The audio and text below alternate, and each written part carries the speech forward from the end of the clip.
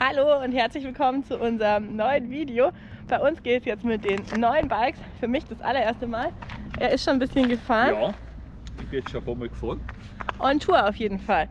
Und ich bin super gespannt. Es ist, glaube ich, nicht so viel anders wie das, was ich letztes Jahr hatte. Aber ich bin trotzdem sehr neugierig.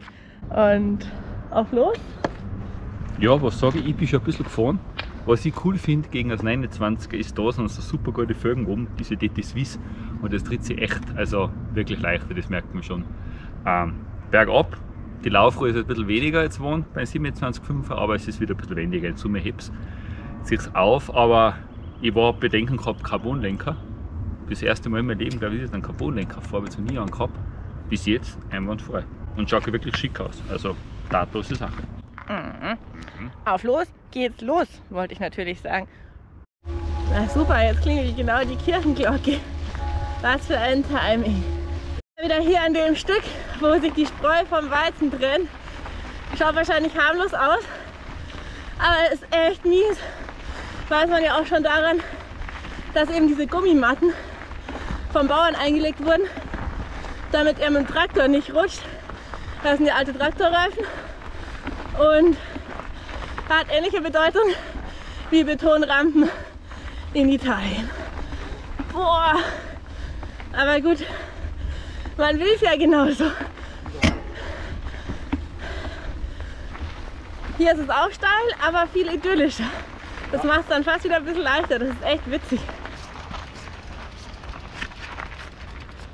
Ah, die letzten Meter und geht schon nicht. aber fast. Im Moment ist es so matschig hier. So, Gipfeljausen. Steinhartes Brot allerdings. Short. Boah! Ja, ich habe kein anderes mehr gehabt. Aber gute Landjäger dafür. krass, das Brot Ja, ist ja ich hart. weiß. Ist einfach ausgetrocknet. Wahrscheinlich, ja. Und gute Aussicht. Aha. Blick nach Bayern. Oben liegt noch ein kleines bisschen Schnee, aber der Rest vom Trail ist dann wirklich super trocken, obwohl es die letzten Tage ein paar Mal geregnet hat. Aber im Frühling ist es dank Föhn meistens gleich wieder trocken. Das ist wirklich super praktisch. Hier habt ihr noch einen schönen Blick übers Inntal hinaus Richtung Bayern eben, wie der Martin schon erklärt hat vorher. Und obwohl das nur 600 Höhenmeter ist, ähm, ist es mega Ausblick. Also das ist wirklich super schön da oben. Und hier seht ihr jetzt eben den Trail. Mega trocken, super geil noch durch das Laub. Nur ich kämpfe ein bisschen, weil ich meine Bremsen natürlich nicht eingebremst habe. Sollte man machen, weiß wahrscheinlich jeder, wie es geht. Bremsen einbremsen, wenn die Beläge neu sind oder eben noch krasser, wenn die Bremsen komplett neu sind, also neue Bremsscheiben und neue Belege, dann sollte man unbedingt mindestens 10 mal auf 30 km/h beschleunigen und auf 0 runterbremsen. Und dann sind die Bremsen eben schon ein bisschen vorbereitet. Ansonsten hat man wirklich deutlich weniger Bremskraft. Das merkt man sofort. Wusste ich eigentlich, aber habe es trotzdem mal wieder am eigenen Leib erfahren müssen, um es zu glauben. Unter dem Fahren ist es dann aber schon besser geworden. Nur ein bisschen gedauert hat es schon. Und dann merkt man halt einfach, dass man unsicherer wird, wenn es nicht so richtig greift. Ansonsten, ihr seht, geiler Trail, super Bike, es hat echt so richtig Spaß gemacht. Und ja, jetzt lasse ich euch einfach mal ein bisschen genießen. Musik folgt.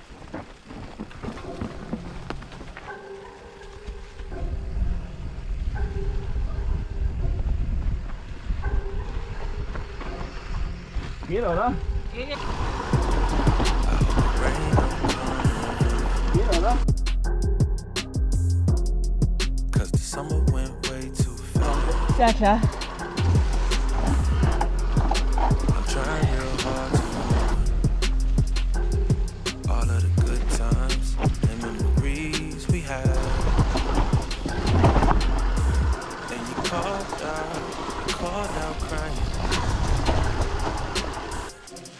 Said our love was worth dying for. Auf Hose geil, oder? Yeah, that's why you keep on, you keep on trying. But I'm really not moved by your tears no more. Yeah, she said if I super. have you, baby, then nobody else ever will. Yeah, because you've been driving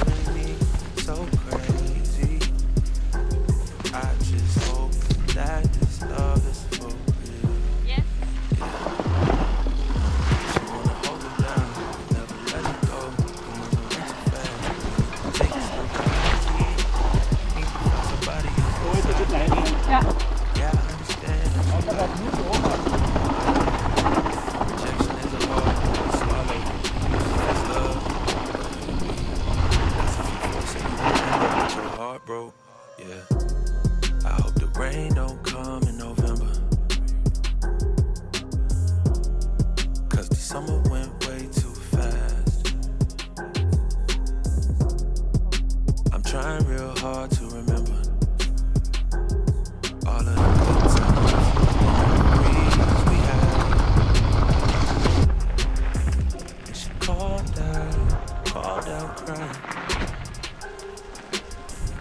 You said our love was worth dying for. That's why she keep on, keep on trying. Nach dem ersten super flowigen Trailstück folgt dann hier so eine Flachpassage mit einigen steilen Stichen bergauf. Boah, das mag ich ja immer so gar nicht. Wenn es feucht ist oder rutschig nass, eben tue ich mich da teilweise mit dem E-Bike schon hart bergauf. Diesmal habe ich es aber tatsächlich geschafft. Ich musste nicht absteigen. Ich habe alle Uphill-Passagen geschafft und bin super, super stolz auf mich. Ich weiß, das sieht immer so easy aus, aber in echt rutsche ich da fast jedes Mal weg, schneide ich aber eigentlich meistens raus, weil es einfach zu peinlich ist. Wem geht es dann auch so? Lange Uphills stören mich gar nicht, aber mit so richtig technischen Uphills habe ich wirklich ein bisschen zu kämpfen, muss ich gestehen. Da tue ich mir bergab technisch deutlich leichter. But I'm really not moved by your tears no more. You said your love is real, you said your love is strong. You tried to hold me tight, I never let it go. You moving too fast, you need to take it slow. Guess that's what happens when you hanging in for way too long. Girl, I keep need to find somebody else beside me. Yeah, I understand that you like me, but the thought though, rejection is a hard pill to swallow. Love, then let it be. Cause if you force it, you gon' end up with your heart broke.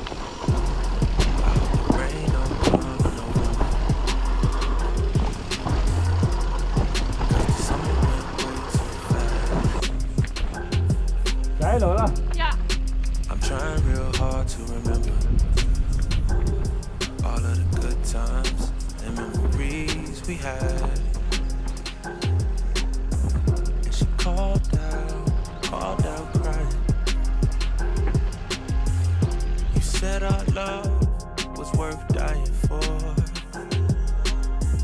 And she keep on, keep on trying.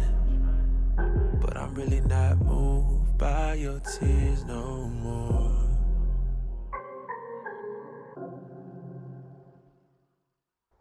Ich weiß, hier schaut es zwischendrin ein bisschen so aus, als ob wir den Trail runterschleichen würden. Da sind aber einige wirklich steile Passagen drin und das noch dazu mit so ein paar Querschrägwurzeln, wo man halt wirklich schnell mal wegrutschen kann, wenn auch nur ein bisschen nasser Dreck auf dem Reifen drauf ist oder eben diese Wurzel gar feucht ist. Also da reicht wirklich schon feucht, da muss es nicht mal richtig nass sein. Deswegen ist hier wichtig viel Druck auf dem Vorderrad, aber eben auch keine zu hohen Geschwindigkeiten, weil sonst liegt man auf der Schnauze und das ist ja nicht Sinn der Sache. Falls jetzt nicht alle wissen, was mit viel Druck auf dem Vorderrad gemeint ist, ein kurzer, schneller Exkurs. Und zwar macht es dann Sinn, die Beine relativ lang zu machen. Ihr seht es, der Martin fährt immer mit relativ langen Beinen und eben so Art Gorilla-Affenarmen, wie wenn man Liegestützen machen würde. Und dementsprechend hat man dann einfach relativ viel Gewicht auf dem Vorderrad. Dadurch hat man eine super Bremswirkung, weil einfach eben Druck auf dem Vorderrad ist und hat aber eben auch besseres Fahrverhalten und man rutscht weniger weg, wenn der Boden nass, rutschig oder sehr lose ist. Also das muss man sich wirklich angewöhnen. Ähm, wo ich im Mountainbiken angefangen habe, das ist wirklich schon lange her, aber da war eher noch die Meinung, nach hinten absetzen, Arsch übers Hinterrad bringen. Mittlerweile dadurch auch, dass die Steckachse gekommen ist, die Bikes viel steifer geworden sind und ähm, eben nicht mehr so viel ausweichen vorne.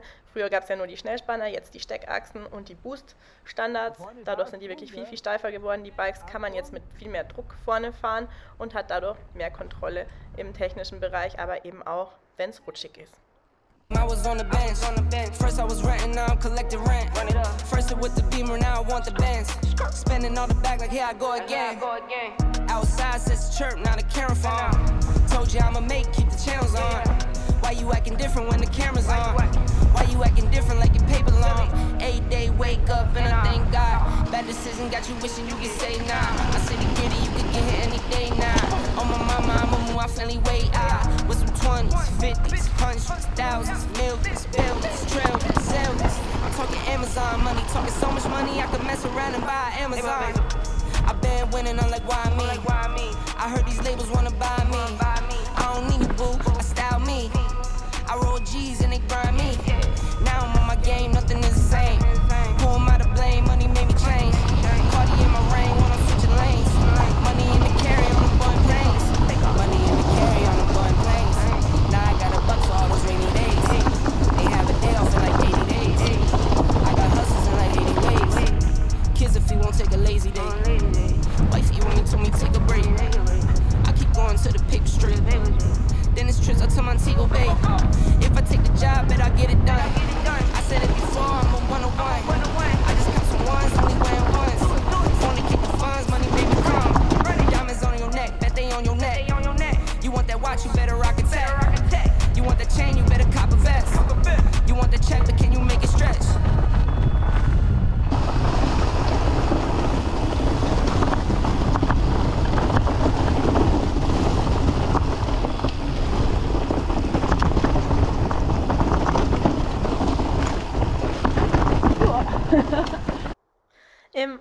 Teil wird es dann nochmal richtig schnell, da kann man es voll laufen lassen, eben auch wenn es trocken ist und hat dann sogar so ein paar kleine Sprünge drin.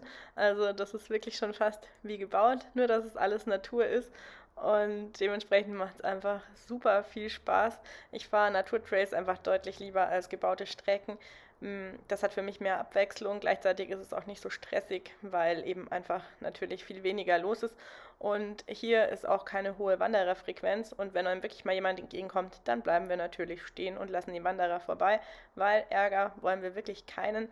Aber da ist eigentlich wirklich bisher immer super Zusammenleben gewesen. Also gab es nie Stress bisher. Da sind wir sehr, sehr froh drüber. Ähm, hier kommt jetzt dann noch eine recht schwere Stelle. Die konnte man früher rechts unten umfahren. Das geht jetzt leider nicht mehr. Da ich habe mich nicht drüber getraut, wie ihr seht. Martin natürlich schon. Ähm, naja, habe ich noch was vor fürs nächste Mal. Machbar sollte es wohl sein. Aber ich brauche immer ein bisschen, bis ich mich an neue Fahrräder gewöhne. Und dementsprechend bin ich jetzt diese Runde nur mit Halbgas gefahren. Aber nächstes Mal geht es bestimmt wieder ein bisschen besser. Ähm, kennt ihr das auch, wenn die Sachen neu sind, so cool es auch ist? Trotzdem muss man sich einfach erstmal ein bisschen umstellen und da bin ich einfach unsicherer und muss mich eben einfach erstmal an alles gewöhnen. Natürlich hat das mit dem Bremse nicht einbremsen da noch seinen Teil mit dazu beigetragen, weil wenn natürlich einfach man so ein bisschen ins Leere bremst, dann fühlt man sich noch unsicherer. Aber da bin ich ja wirklich absolut selber schuld. Nur äh, bin ich einfach so faul, was dieses Einbremsen angeht. Naja, nach einer Runde hier 600 Höhenmeter sind die Bremsen dann aber auf jeden Fall mehr als fit. Und jetzt geht es dann gleich nochmal weiter bergauf für uns. Kommt mit. Ein Berg ist nicht genug. Dementsprechend ziehen wir jetzt die ganzen Sachen wieder aus und treten den nächsten rauf. Sagst du, ja? Nicht Ja. Nagel lang. Mir reicht einer auch. Siehst du das? Trotzdem fahren wir zwei. Da seht ihr, was wir für ihn und drin fahren. So, da sind wir schon mitten im zweiten Uphill.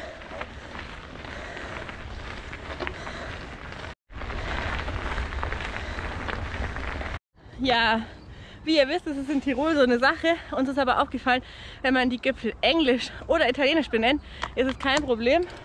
Und dementsprechend sind wir hier gerade auf Chicken Mountain Chicken Mountain. und das ist unsere Aussicht. ja. Vorhügel, Voralpen vom Inntal. Voralpengebirge, ja. Und dann Military Rose wieder. Down to the big town Ja. Auch der Trail fängt erstmal richtig flowig an, wird dann aber schwerer, als es der erste war und ist im Mittelstück eigentlich immer rutschig. Ich weiß auch nicht warum, aber da sind immer so ein paar Wurzeln, die einfach nass sind, egal wie trocken es außenrum ist. Das hier ist aber erstmal noch der leichte, schnelle Teil und ja, früher war das alles dichter Wald, ist mittlerweile aber leider abgeholzt worden. Klar, man hat ein bisschen bessere Aussicht, aber ja, ich selber habe den Wald mehr genossen. Ein paar Bäume sind schon noch da, seht ihr eh selber. Aber das war alles komplett zugewachsen. Man konnte da überhaupt nicht runtersehen auf die Stadt. Und ja, mittlerweile sieht es eben so aus. Ähm, hier muss man ein bisschen Schwung nehmen, dann kommt man leicht drüber. Aber wenn man es nicht weiß, ist das sicher auch eine sehr tricky Stelle. Und Genau, da seht ihr überall noch die Abschnitte von den Bäumen. Das war vor zwei Jahren und da war der Weg auch erstmal weg. Bin ich schon total erschrocken, aber zum Glück mittlerweile wieder gut fahrbar.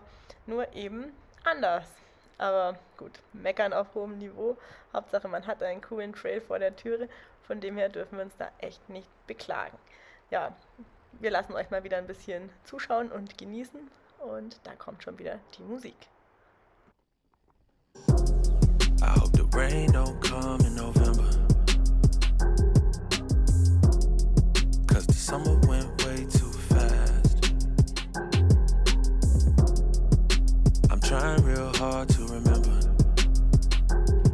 all of the good times and memories we had. And you called out, you called out crying.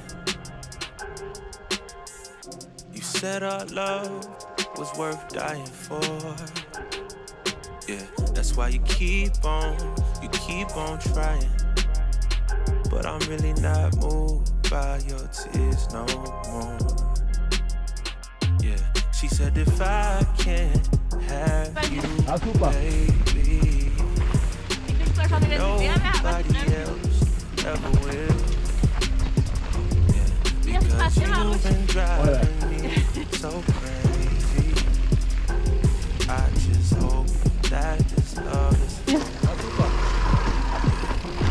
Die klingt zwar schon, wenn sie leer wäre, aber sie bremst jetzt. Hier ist es fast immer rutschig.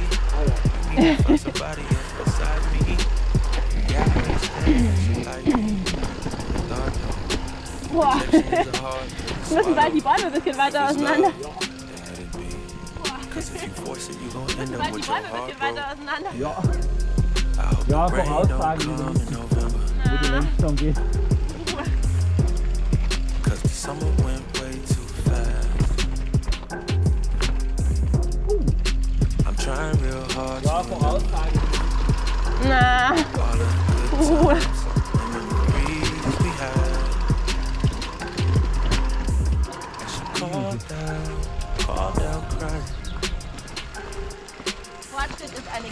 eine Said Krise. our love was worth dying for. That's why she keep on, keep on trying. And I'm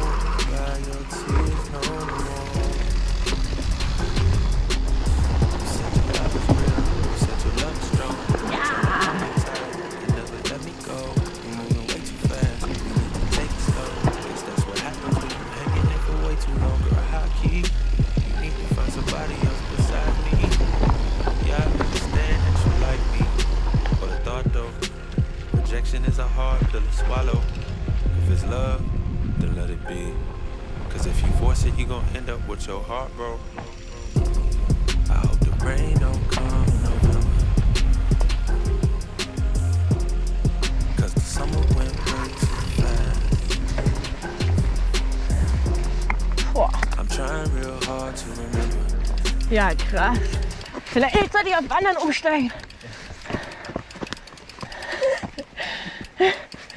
So steil hier. Schaffst du es? Schaffst du es? Äh, scheiße, abgerutscht. Der Martin hat eben gesagt, dass jetzt, wo er das neue Bike in 27,5 hat und noch viel wendiger ist als letztes Jahr mit dem 29 Zoll, er nur noch so verblockte Uphill-Sachen fahren will. Und dementsprechend habe ich gesagt, dann werde ich wohl auf Wandern umsteigen. Und ihr seht ja, das war zwar nur ein ganz kurzes Stück, aber echt ein mies steiles. All of the good times memories had.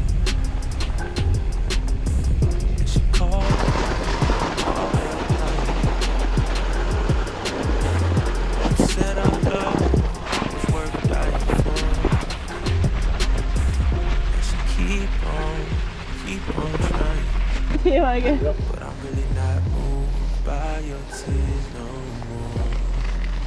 Ja. Yes. Crossfit während dem Lockdown quasi. Ist echt geil. Guck mal, Willi ein üben. bisschen will ich immer. Einfach einmal ein bisschen anhängen, oder? Oh. Damit sind wir wieder gut zurück. Der Yes. Martin wurde von seinem Gurt befreit. Dass wir den ja mal in die Kommentare, wie es euch mit den Gurten geht. hey. Ich hasse ja Gurte. Ich hasse so, so unbunden sein. Aber mein Gott, nein. Wenn es was bringt und damals halt, weißt du, da nicht lange mal dumm hängst und alles da meinen. So nicht lange jammern. ist Ah, der gut, das hast. Der würde ja nie jammern. Nein. Schreibt mal in die Kommentare, dass er da durchbeißen soll, was die Aufnahme wert ist. Mhm. Ja. Wenn man so viel Zeit wie im Rad verbringt und das mit Gurt ist nicht mehr so lustig. Ansonsten hoffen wir, es hat euch gefallen. Lasst uns gerne einen Daumen nach oben da. Falls ihr es noch nicht getan habt, dann abonniert doch gerne unseren Kanal. Und dann sehen wir uns auch schon beim nächsten Mal. Ja, geht jetzt dahin. Macht's es gut. Ciao. Tschüss.